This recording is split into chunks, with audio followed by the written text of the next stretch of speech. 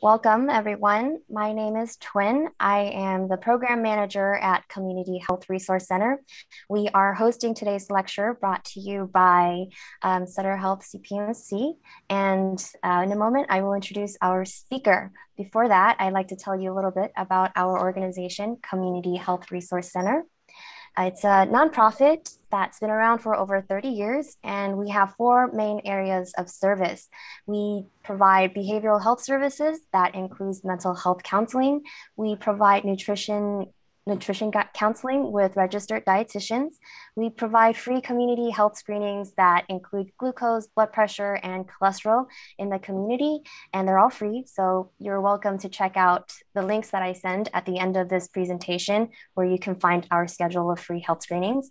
And we also provide free health education in the form of special lectures led to you by healthcare providers.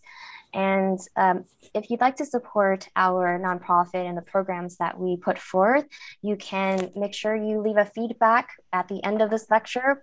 Look out in your email. I send the feedback link directly to you. And you can also scan the image on the screen right now if you'd like to donate to us. So now introducing Dr. Milana Dolezal. She is a medical oncologist and she leads research that enables new approaches to the treatment of solid tumors and hematologic malignancies and cancer survivorship and supportive care. She is a principal investigator for National Cancer Institute and industry sponsored cancer treatment, clinical trials across the Sutter Network and California Pacific Medical Center. She currently serves as Director of Cancer Survivorship and Supportive Services. All right, thank you so much. Let me uh, go ahead and, and get my screen up here so we can do the, the virtual thing. Um, well, thanks everybody. I appreciate you making time today. I do have a little bit of a disclaimer. When I signed up for the talk, I didn't realize that uh, today was a kid's holiday from school. It's Indigenous Peoples Day. So hopefully there won't be lots of ruckus and that kind of stuff. But uh, I'm excited to talk to you today about topics of cancer survivorship. And I really like to think about it more in terms of cancer thrivership and really changes in the compassionate care that we deliver to our cancer thrivers. Um, so going through cancer and cancer therapy is a big deal. Um, and it's really not over after the more intensive part of your cancer treatment. Um, there is continual side effects from anti-estrogens, which will be one of the major focuses of this talk. And what's kind of new your what's your new baseline and how can we manage palliatively some of the symptoms you might be expecting? Um, and so that's kind of the, the overview today. Um, all right. So I always like to start with some introduction on the concept of cancer survivorship. What does that mean or cancer thrivership? Sorry, I'm going to probably continue to get emails throughout the talk. Uh, but at any rate, the health risks have changed, and a lot of people will finish their primary treatment unaware of their risks and ill prepared to manage their future health care needs. And that is this from cancer patient to cancer survivor, this Institute of Medicine Lost in Transition that was published back in 2005. And this really outlined how, after all of this bolus of, of intensive treatment, a lot of attention being paid to you, then all of a sudden now you're, you know, in this every six month or every four month type of follow up. And that's after having uh, a lot more attention at the beginning. So the end of the treatment doesn't necessarily mean the end of the experience. As we know, there are more than 20 million cancer survivors in the USA now. And uh, really understanding their unique needs is imperative. Sometimes cancer survivorship can uh, have a sense of renewed life and purpose. Maybe something in your life, you know, a relationship or a job that makes you redefine what's important to you, kind of like what we've been doing with this pandemic. Um, and long lasting effects of treatment might not be apparent right away. So, I also like to set up this idea of the cancer control continuum because uh, we are dealing with uh, a chronic disease in some cases and side effects from treatment that might need to be managed as a chronic disease. So, you know, we're familiar with prevention, early detection. I always make sure my breast cancer patients are up to date with their colonoscopies and other stuff that we can help with. And then we have this treatment phase that's pretty intense, depending on what stage of cancer you had. Um, and then survivorship is really about health promotion, uh, late effects management, surveillance, etc. So you guys are familiar with this. This is a, a busy slide, uh, and you might be on a different spectrum. Um, just in general here, when we're talking about survivorship, and I'll define that, uh, for the most part, these are curative patients with curative intent types of treatments. So that might be going to surgery first, then having radiation, then starting uh, anti endocrine therapy. Uh, perhaps an oncotype DX was ordered to understand if there would be a predictive benefit from chemotherapy for uh, early stage uh, estrogen and or progesterone positive type of cancer.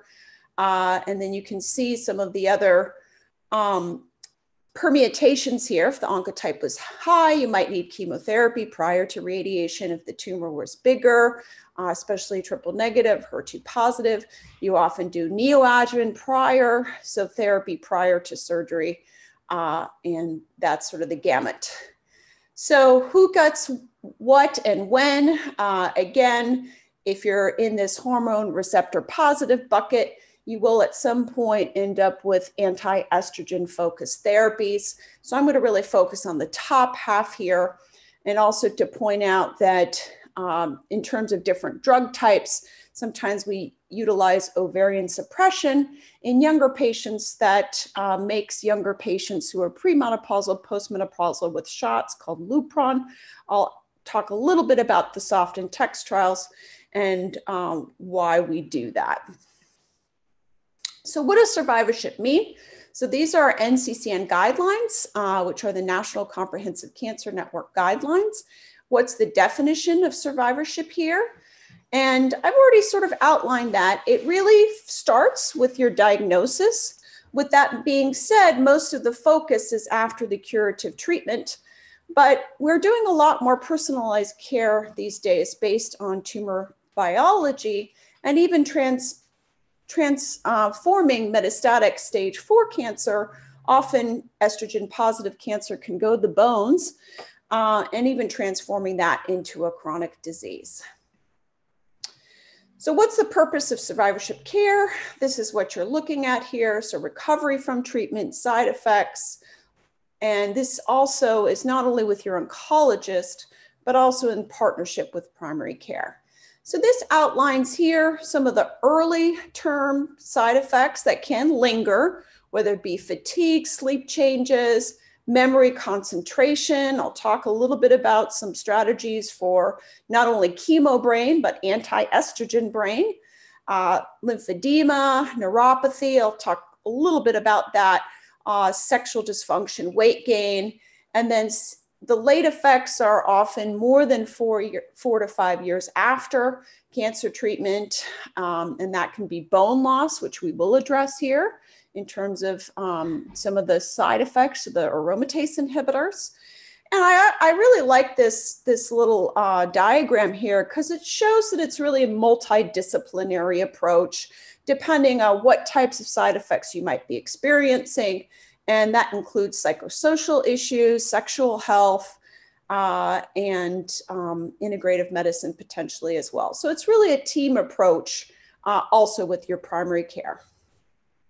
So, specifically focusing on breast cancer treatment, uh, I'm going to talk about weight gain and hot flashes and fatigue, the joint aches that we get from some of the anti estrogens sexual dysfunction, some bone thinning. Um, and these are sort of the gamut of things that patients might experience as a side effect from their therapies. So this just gives you an outline here. Again, this is our National Comprehensive NCCN guidelines, uh, which are really robust these days. And you can see here on the left side all of the survivorship concerns that are addressed, whether it be cognitive issues, anxiety, depression, fatigue, lymphedema, pain, sleep disorders, etc. So um, this is a nice resource. They, the NCCN also has patient-friendly types of guides, uh, and it's free. All you need to do is just put in your email and a passcode, and you can see some of these. But you can see, depending on what type of symptom we're discussing, there's a whole algorithm in terms of how to manage that. So, what is anti hormonal therapy, anti estrogen type of treatment? Uh, this is a therapy used uh, for hormone receptors, so that could be estrogen or progesterone positive breast cancer. Remember, there's three receptors on breast cancer cells that we pay attention to in terms of targeted therapies, personalized types of therapies. So there's estrogen and progesterone and HER2 are the three um, that we focus on. And so I'm going to be focusing on the estrogen and a progesterone types of, of breast cancers here. So the therapies that we use for five to 10 years uh, block hormones and they can decrease uh, the body's production of hormones. In premenopausal women, generally we use tamoxifen because it focuses more on the ovarian, the ovary production of estrogen. Uh, and I alluded to earlier, um, the Lupron, which is a shot that makes premenopausal women postmenopausal with the use of aromatase inhibitors. And for postmenopausal women, we often use aromatase inhibitors. You guys hearing me okay? Perfect. Okay. I just saw some glitchy stuff. Okay, so I mentioned five to 10 years. We'll talk about some molecular platforms that can help with that decision. And really, the goal is to decrease the risk for hormone receptor cancer returning. And sometimes it's, it can also be used prior to surgery to help shrink uh, tumors as well, um, in addition to after surgery and after radiation. Okay. So just a little bit of an outline. I mentioned tamoxifen more often used in premenopausal women uh, binding to the estrogen and the estrogen receptor, so you can't then have cancer signaling. And the other class of drugs that we use are aromatase inhibitors. They're listed there, anastrozole, arimidex, letrozole, exemestane, Femara. They have different names sometimes. Uh, and they work by inhibiting the peripheral conversion uh, into estrogen. So aromatase is an enzyme that basically throws a ring on cholesterol as a building block of all the hormones, and then it produces estrogen that way. So these pills that you take block that from happening. And you can see the mechanism of action here. So I did talk a little bit about the approaches in pre versus postmenopausal women. You guys might be familiar with the SOFT or TEXT trials that looked at the addition in younger women of a shot and then uh, an aromatase inhibitor. And that was based on this particular trial, um, the SOFT and the TEXT trials. All right, so let's focus more on symptom management here. So what are some of the side effects of anti-estrogen or progesterone therapy, anti-hormonal therapy, so there's a lot, right? This is sort of the whole list here of night sweats, hot flashes, maybe not sleeping well because of night sweats and hot flashes, fatigue, cognitive changes, mood swings, depression, anxiety, sexual changes, decreased desire, libido. Uh, and then a lot of other things related to joints, joint bone loss, joint aches, muscle aches, myalgias, neuropathy, skin changes, hair thinning, etc. So why do patients gain weight? Premature uh, menopause can decrease the metabolic rate. Fatigue after primary treatment can uh, make people just feel like they don't want to get out of bed or go take the dog for a walk, or these things can uh, contribute to weight gain. Uh, similarly, continuing side effects of the joint aches, etc., stiffness, mobility issues can really um, be difficult. And then there are also potential late consequences. So I really like this quote here. Uh, I am a woman. I'm, invin- I'm invincible. I am tired. Uh, I think we all feel pretty tired due to the fatigue of the pandemic as well. So, fatigue is the number one complaint. Uh, cancer related fatigue can be the most frequent and disturbing complaint of people with cancer. It can affect daily activities of living, even your productivity at work. But fatigue can be managed And I gave a, a, talk a few weeks ago or back in August about um, exercise. I'm a big component of exercise. Our guidelines recommend at least 150 minutes of cardiac exercise a week. Now, that could be walking five times a week for 30 minutes, also good weight bearing for your, your bones. And about 30% of women on an aromatase inhibitor complain of fatigue. Uh, it's also important to address some of the underlying issues. Is it lack of sleep? Are there thyroid issues, depression, maybe uh, nutritional abnormalities, etc. And this is just a summary here showing that about 16 trials. Hi. I'm, I'm sorry, sorry, to interrupt you, Dr. Dolezal. Okay. Um, we have a request from the audience if you could slow down a tad bit. It's a little bit hard to follow along because you're talking a bit fast. Okay. All right. I do that sometimes. Thank you for uh, monitoring the chat. Uh, okay. So let's slow down. Um, at any rate, so in terms of fatigue being a number one complaint, uh, exercise can can really help with that. And this is just a kind of a meta-analysis, a meta-analysis that looks at a lot of different studies. Okay. So just to summarize a little bit, I'm not going to go super deep into all the data here, but you can see that there are a lot of different clinical trials with over 2,000 women. They had different interventions in terms of anaerobic, which is more burst, or aerobic uh, exercises and resistance training. It's really trying to get your heart rate up and working on bone strength. And these are some of the endpoints they looked at in terms of quality of life, cognitive function, etc. And we know that the aromatase inhibitors really can uh, cause joint aches. Most common reason for patients to discontinue their pills. Um, it may improve over time. Sometimes I do what's called cycling between the different uh, aromatase inhibitors to see if the side effect profile might be a little bit different if we try a different one. And there's quite a few interventions there, and I'll go deeper into, into those. This was another study that looked at 150 minutes of exercise a week versus not. They had different types of metrics in terms of uh, this DASH questionnaire, specifically looking at pain and quality of life.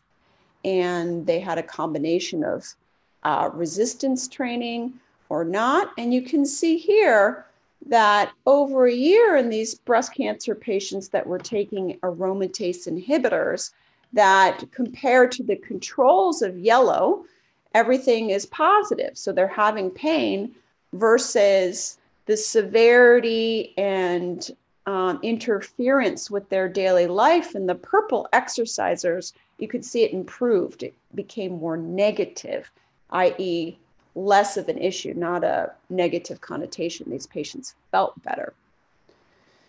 So, this is just looking at walking. So, this was a six week uh, self directed walking program, 62 patients with curative stage breast cancer. Walking intervention or not, they had to be on a aromatase inhibitor for at least a month. And they baseline were exercising less than 150 minutes per week. Oh, not sure what happened there. Um, okay, there we go. Later.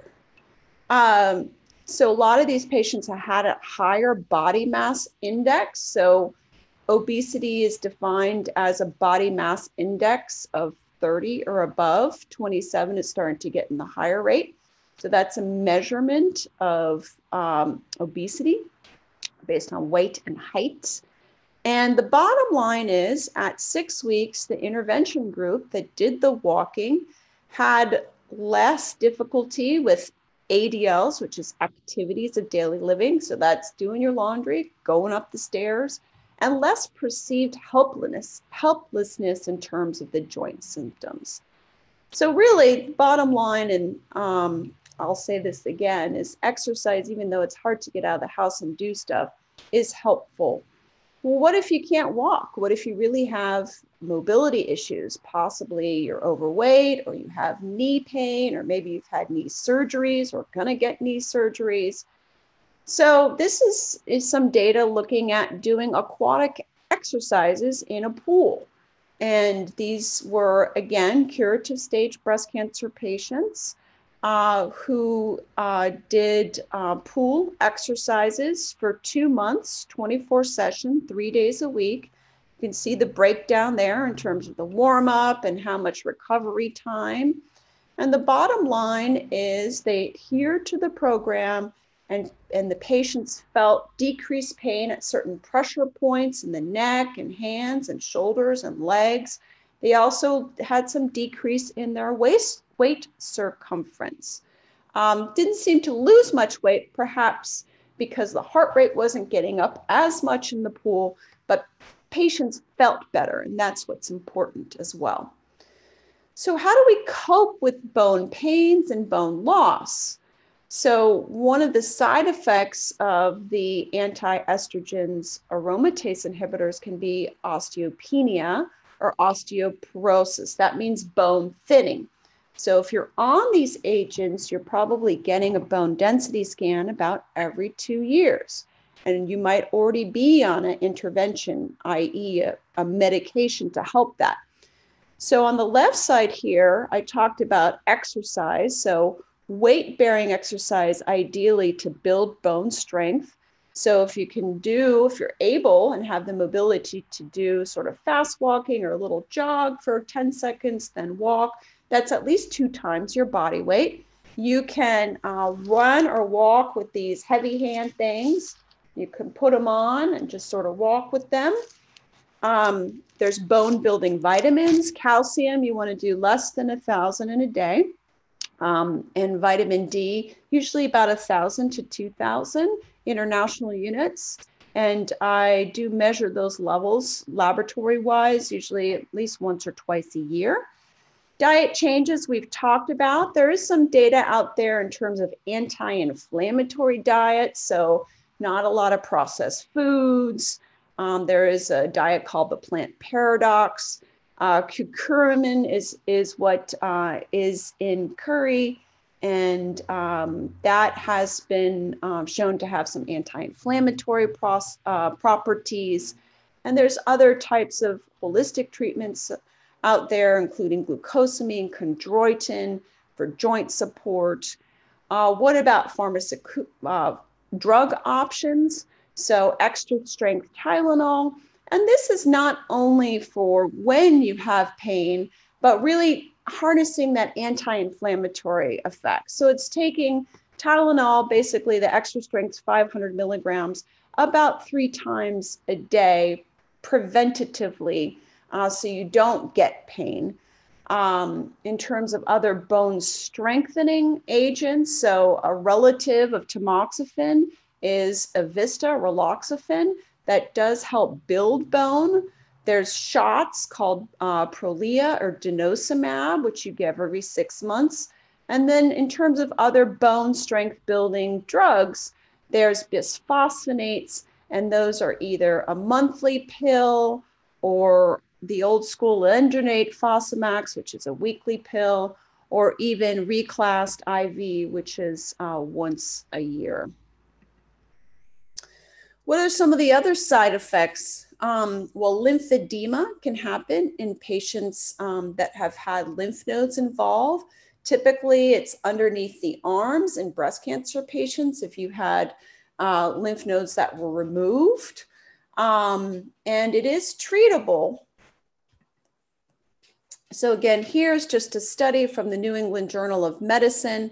I'm not going to go into great detail, but it actually looks at weightlifting and resistance training in terms of helping with lymphedema, and it can decrease the limb um, wideness. Uh, so it's basically a swelling of the of the arm, and there are a lot of other lymphedema specific types of strategies.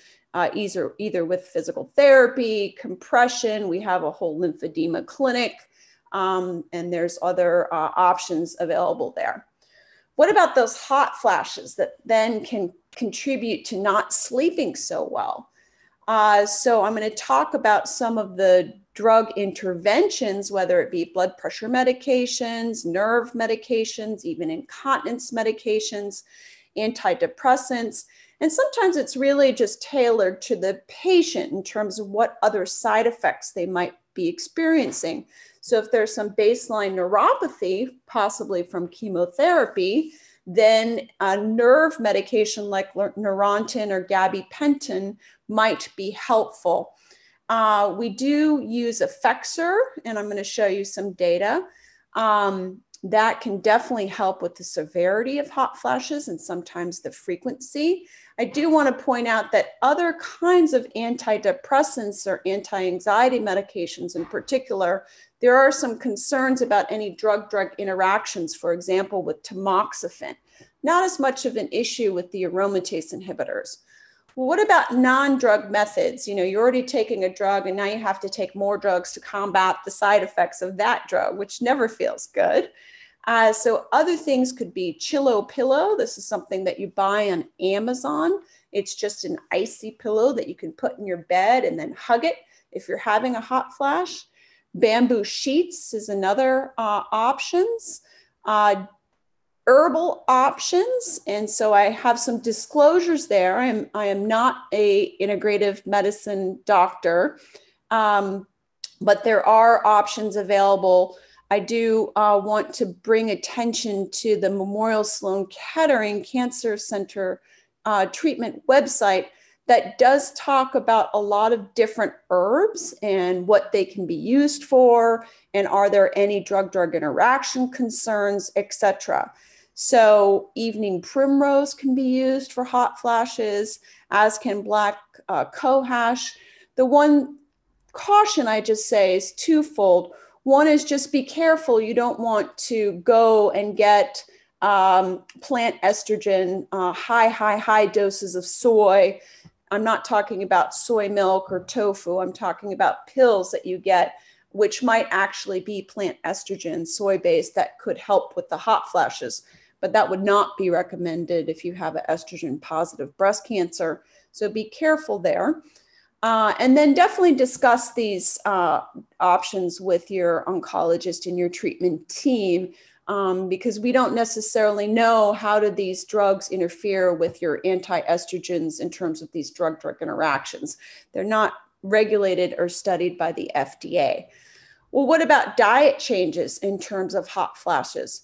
You know, really be careful uh, for alcohol, intake at night. It can, uh, alcohol can be just like grape juice or orange juice, high sugar content. So it can spike your blood sugar.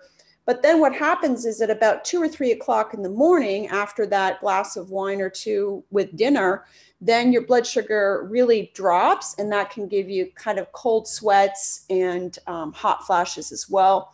Uh, one way to also mitigate sort of the drop in blood sugar is um, to take a tablespoon of peanut butter uh, before you go to bed. And that fat can kind of help get you through the night and regulate your blood sugars smoothly. Um, so, those are things to think about. Uh, if you're going to have that glass of wine, then have it with a really good piece of cheese, like a fatty brie or something else. Hopefully, it won't give you abdominal bloating. Uh, there are also sleep aids out there. So, melatonin, um, is one uh, to think about. Generally, I recommend starting at about one or two milligrams. They come in gummies, so you can split them in half. Half they can give you pretty vivid dreams, so be mindful of that. Some people might have a little hangover in the morning. Paradoxically, if you go too high, you might actually um, stay awake. Uh, and then the other great one, uh, which comes in uh, a lot of different over the counter supplements like Calm, is magnesium. And uh, magnesium, about 250 to 500 milligrams, uh, that can really help with sleep. It also does keep your stool soft. So just be mindful of that. So if you take magnesium after dinner, then you'll probably get up and um, go to the bathroom number two. Uh, so if you have diarrhea, one of the reasons might be because of the magnesium. So keep that in mind. And I really like the Memorial Sloan Kettering website in terms of getting giving more information about sort of holistic types of therapies. So I mentioned Effexor venlafaxine, which is a drug that we've been using for at least a decade now to help treat hot flashes. Uh, really, you just need to start at the lowest dose, which is uh, the 37.5. I recommend ta- patients take it at night or play around with what day, what time of day, depending on when the hot flashes are the worst. Are they keeping you up at night, or are they having you uh, take breaks from work where you have to go, you know, stand in front of the fan? All right, so you can see all of the uh, treatments for hot flashes out that are out there. These again are NCCN guidelines. I mentioned uh, venlafaxine, but I usually start at 37.5 or even a lower dose and then sort of work my way up. They talk here about 25. It is also an antidepressant. So if that's another issue, then it's a little bit of a two for one in terms of working with a therapist on um, antidepressant uh, medications. Um, and then uh, again, I caution in terms of some of the SSRIs, including Paxil, uh, in terms of drug drug interactions with tamoxifen, keeping that in mind. I already mentioned Neurontin, gabapentin, if there's also some neuropathy, and that can definitely make you sleepy. I usually recommend uh, 600 milligrams, so two 300s at night. Uh, and then just really making sure that you started on a weekend, like a Friday night or Saturday night, where you don't have to get up in the morning and go driving, because some patients can be really sensitive. Uh, and then clonidine is an anti blood pressure medicine that's an older one. I don't use it as much anymore. And then I did want to shout out some newer uh, uh, drugs on this list. So ditropan oxybutynin was um, presented by Roberto at the San Antonio Breast Cancer Conference uh, almost three years ago now. And that actually helps quite a bit with hot flashes. It is also an incontinence medication for uh, bladder spasms. Uh, so that can also be a two for one if you're experiencing some stress incontinence when you sneeze or any of us who've had children know what that's all about. Wink, wink. Uh, at any rate, so that can be another um, method to, to treat hot flashes. Okay, and then this is just a nice uh, summary of a lot of those different treatments. This is from ONS, the Oncology Nursing Society. And it's a really nice review that sort of talks about all these different agents I just uh, gave you a high level overview for, but certainly you can discuss this with your uh, care team. Well, what about incontinence? We mentioned that. So I just talked about ditropan as an option. So it can either be 2.5 milligrams or 5 milligrams, usually twice a day. Can give you a dry mouth at the beginning for at least the first two weeks. So that can be uncomfortable. Uh, there's a lot of other options in terms of specific pelvic floor work. Uh, so again, any of us who've had kids probably remember Kegel exercises, a little fancier than that. Uh, but there's physical therapists that do specialize uh, in pelvic floor strengthening. There's training devices, neurofeedback, etc.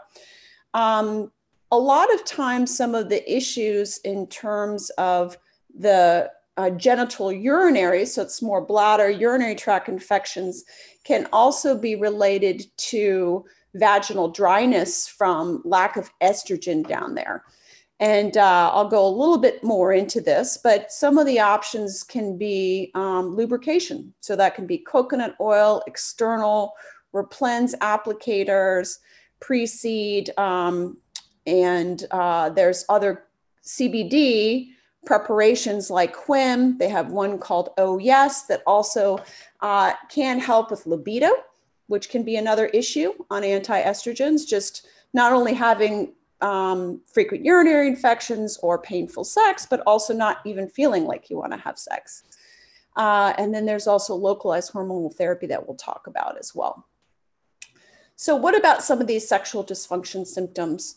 Uh, unfortunately, 40 to even 100% of cancer survivors have some for, form of sexual dysfunction. So, that could be painful intercourse, that could be vaginal dryness, and, you know, I already alluded to libido, in, uh, lack of libido, uh, difficulty with arousal, possibly orgasms. Um, and even compared to taking tamoxifen, some patients on AIs who are more postmenopausal at this point, higher rates of decreased uh, sexual interest, lubrication issues, etc. So I always say there's no stupid question, and uh, see no evil, hear no evil, say no evil. Uh, so it's fair game. You know, I like to have an open communication with patients. And so sometimes I'll just ask, you know, how's your sex life going? Or are you having any problems? Or how's your relationship? And, you know, uh, the, the male partner often, if it is a male partner, it might get squirmy at this point, or then they open the conversation doors. So either way, ask your providers about these. So, what is GSM? It's genitourinary syndrome of menopause. Uh, it's vaginal dryness, pain with in- intercourse, sometimes even might manifest as frequent urinary tract infections. What can you do about it? So, there's non estrogen type of moisturizers. So, that's coconut oil, Replens. Uh, Pre seed, I usually recommend about 30 minutes prior to sex. These are applicators. Um, if you are not spontaneous and plan things, uh, Quim, I alluded to. Uh, and then in terms of other types of uh, estrogen containing products that are local, these are listed here. So there's Vagifem, Estring, um, DHEA. I'll talk about Imvexxy in a minute, which is very low dose estrogen. And then there's the Mona Lisa touch laser. You know, I it's expensive. Um, I have sort of mixed feelings about it in terms of its efficacy, but if it works for you, that's great. So, what are some of the knowns and unknowns in terms of using topical, local types of estrogens uh, in the vaginal area or canal? So, some of the knowns are this is a quality of life issue. Uh, we know that the estradiol levels, which is a measurement of estrogen in the bloodstream, can be really variable. And it's really hard to measure. There's some ultra sensitive tests, but they can, it's not reliable. Uh, so just keeping that in mind. Um, there can be sporadic elevations, uh, but we don't really know what all these transient elevations mean. If you started to take a product and your hot flashes stopped, i.e., a local product, well, that would be a concern. Why? Because that means that you're getting systemic uptake into your bloodstream that's stopping your hot flashes. But to be clear, these methods are local and really trying to deal with quality of life issues in terms of side effects of anti estrogens.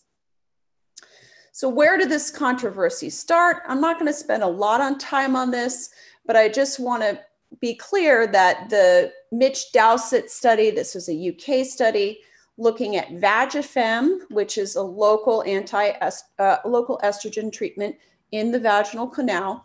There's only six patients.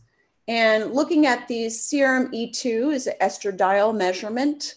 You can see that there was elevations baseline and they were sporadic. And bottom line is, we don't know what it means, but I am not concerned in terms of increasing your breast cancer risk. So, we talked a little bit about GSM already. These are a lot of the symptoms that you can have. And um, one of the goals, uh, this was a clinical trial I was trying to pilot, was looking at non estrogen containing versus estrogen containing types of products. And Imvexxy actually comes in very low dose types of um, estrogen strengths. These are vaginal inserts that generally you put in about two times a week for the first two weeks, and then it can even be uh, weekly.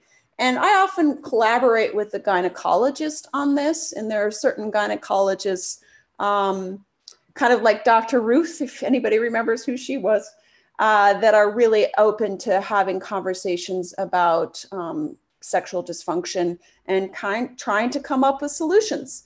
So it's not see no, hear no evil. This is trying to work together on on a quality of life issue that is really important to relationships and feeling good about yourself. What about cognitive changes?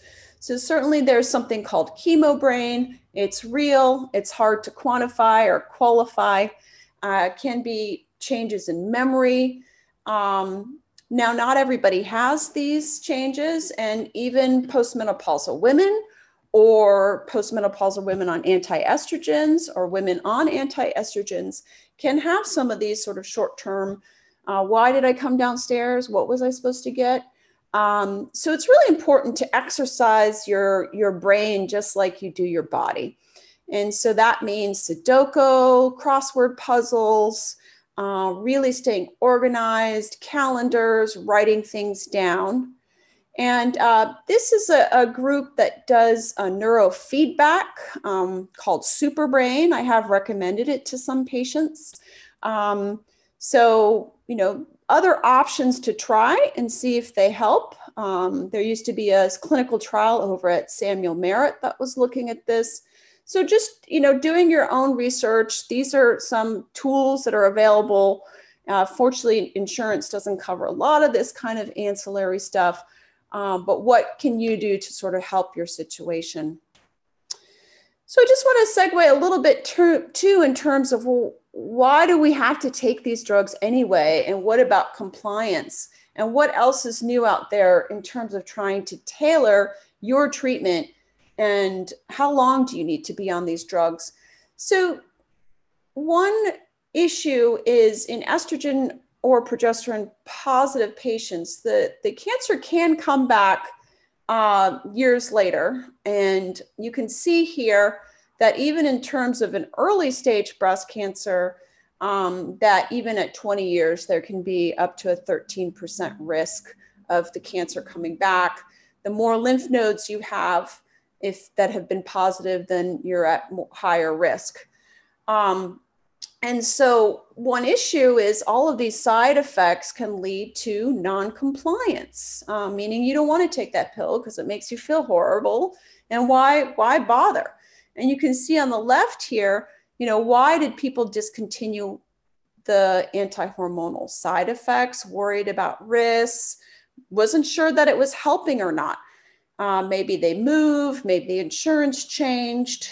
Um, but we prescribe these for a reason and it would be nice to be able to tailor you know who needs um, who needs an anti-estrogen for longer or not you might have heard on the literature that in terms of tamoxifen there's trials out there that looked at 10 years versus five years um, and uh, in the aromatase inhibitor world, there's a NSABP trial that looked at seven years.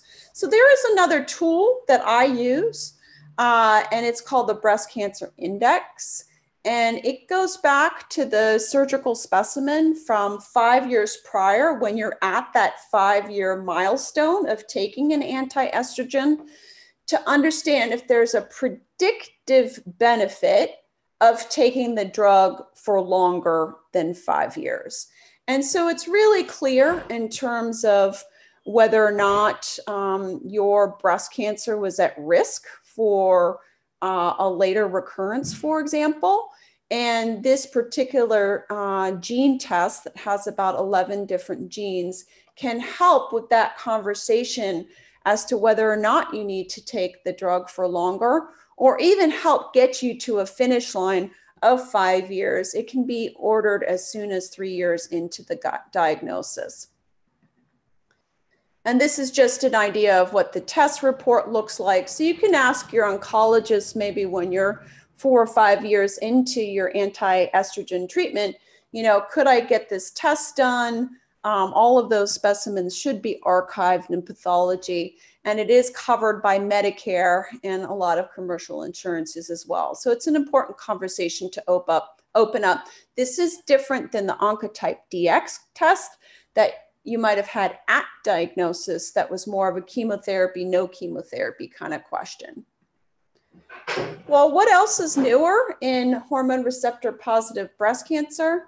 Um, so there's a different class of, of drugs called CDK inhibitors uh, that really work on how cancer cells signal and grow and um, inhibiting uh, DNA signaling and cell cycle. This is a cell cycle here uh, G1, S phase, which is the DNA copy.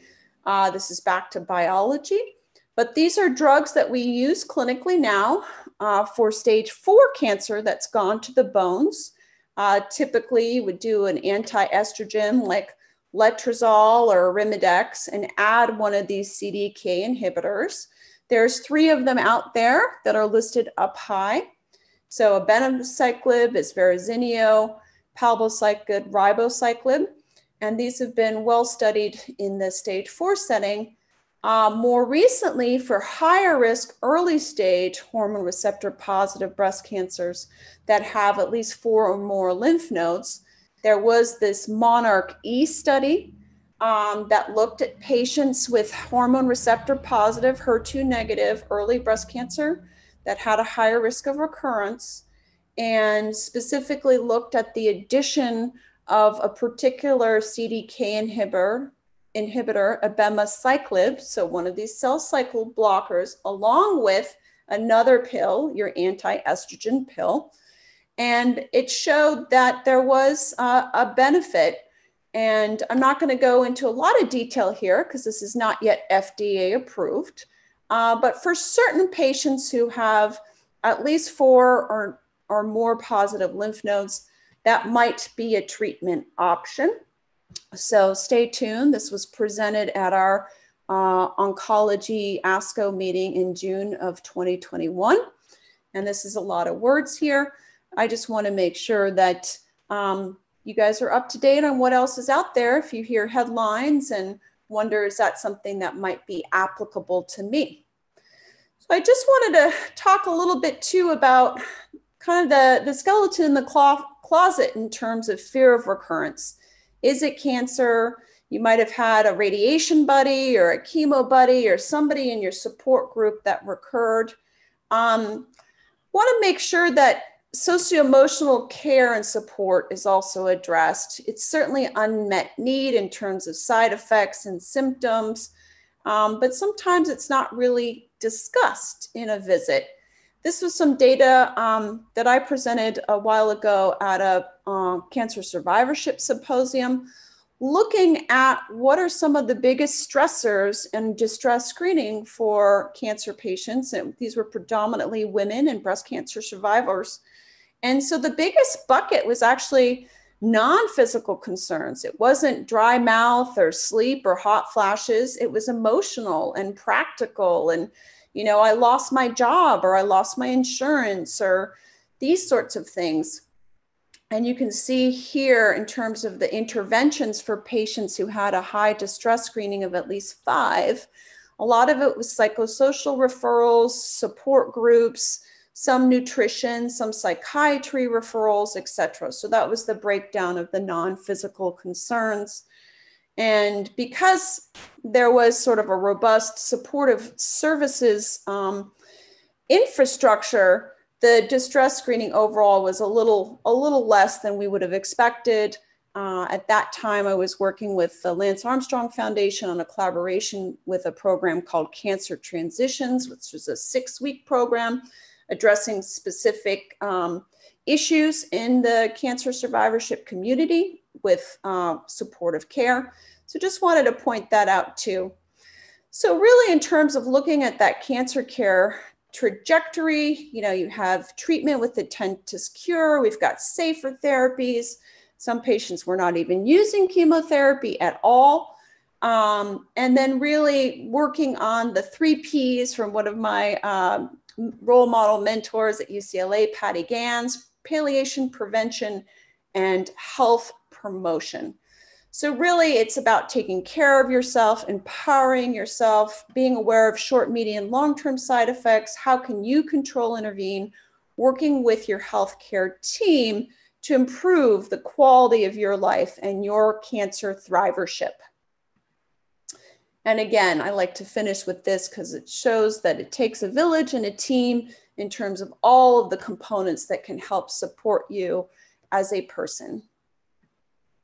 Okay, so that's most of um, what I wanted to discuss. Um, looks like we've got a whole bunch of questions and chats and okay. yes.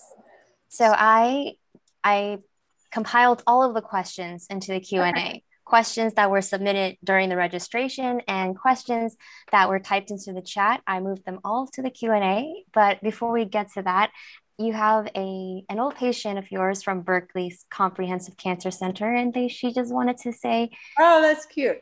This Hi. is really helpful." Oh, I appreciate that. I want to make an announcement that we have a ton of questions and not too many time. We usually have an hour and a half for our lectures, but uh, Dr. Dolezal will prioritize questions that are directly related to today's topic.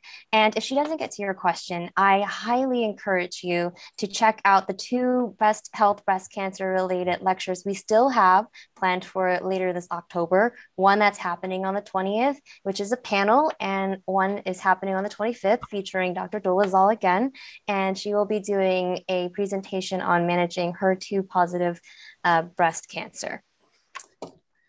Okay, so let's see. Um, we have uh, what about muscle spasms, cramps? That can be a side effect of tamoxifen. Uh, also, keeping in mind other things that could cause that. So, it could be dehydration, it could be magnesium, uh, so sometimes uh, making sure that you take Gatorade or Pedialyte before you go to bed, making sure you're well hydrated, watching alcohol, watching too much caffeine, because those are diuretics, which means you're going to pee out more than you drink in. Um, so staying well hydrated, but yes, it can be a side effect of tamoxifen. The other thing that can cause leg cramps uh, is either thyroid issues, so checking your Or T4, and low iron. So those are other things that can cause cramps. Um, Karen wants to know about chemo brain. Um, you know, it, it's it's something to manage, and you know we've talked about that. Um, so neurofeedback. I mentioned the uh, program that's out of Albany, uh, Sudoku, crosswords, etc um, you know, as long as you're still on an anti-estrogen, that can potentially persist as well. It's a little bit of a chicken or egg discussion in terms of, you know, what what's contributing to what in terms of the past chemo, etc. Um, Pauline wants to know about neuropathy. Yeah, so um, you guys in my office, you know, I have those little dog balls that are prickly that you can put your fingers over and roll over. Uh, it's like almost like acupuncture. Uh, similar on the feet, you can rub your feet over them. Um, you can try uh, through the Institute of Health and Healing, uh, trying acupuncture or acupressure. Uh, those are um, modalities they have there. Again, unfortunately, insurance doesn't cover a lot of that. Um, so what about Motrin? Um, you can take Motrin. Um, again, I often recommend Tylenol in terms of extra strength Tylenol. Doesn't have the same kind of GI side effects, whether it be uh, irritation of your stomach lining, etc. Um, in terms of the bone thinning, bone health, uh, that's a mix. You know, usually it's sort of stabilization. Uh, the medications I mentioned, in addition to weight bearing exercise, can help improve some, but you're probably not going to get back to the baseline where you were 10 years ago. Um, so, what else here? Constipation gas. So it sounds like maybe seeing a GI doctor to help work through that. I mentioned magnesium, not only for cramps and sleep, but also keeping the stool soft. Uh, so taking magnesium after dinner or before you go to bed, that can be an option. Um, so I talked a lot about side effects, protect the bones. So that's uh, Evista, raloxifene is an option in terms of um, some of the preventative, not only for breast cancer prevention, but also for bone protection. Um, I talked a lot about that. Um, what else? Dry skin. Yeah, that's tough. I mean, Eucerin, udder butter, things that are urea based can help. Um, working with a dermatologist. I've had some patients even go on Retin-A for this kind of stuff. Um, Okay, and then I'm not familiar with the allergy research group. Um, so, yeah, so again, I'm a medical oncologist. Um, I have interest in alternative therapies as well, but uh, I'm not somebody who's knowledgeable about all the permutations of that. Uh, and again, I would refer to the Memorial Sloan Kettering uh, website in terms of uh, options there.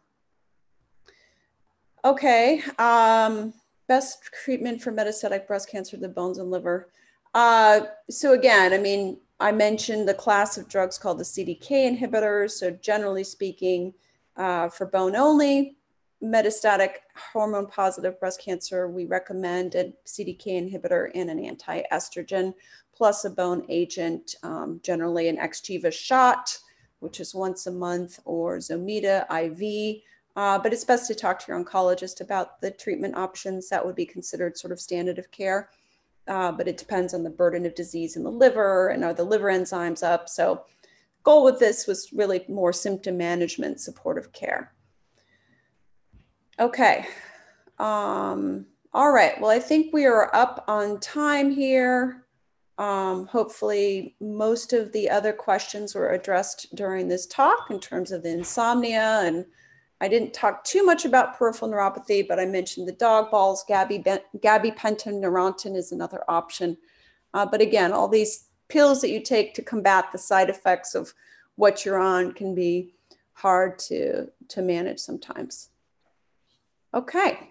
Thank you so much, Dr. Dolezal. That was a fantastic lecture, and I know we went really fast, and I'm glad that you were able to slow down and fit in more information during that time. Thank you, everyone, for your thoughtful questions and your kind words.